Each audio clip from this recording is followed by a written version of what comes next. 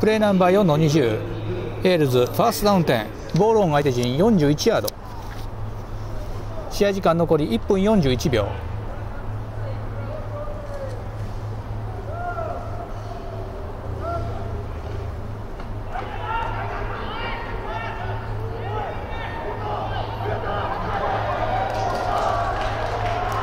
タッチダウン。ランニーバック26番ハンドオフから左を2袋駆け上がりそのまま中央突破。おそのまま独走状態になりエンドゾーンタッチダウン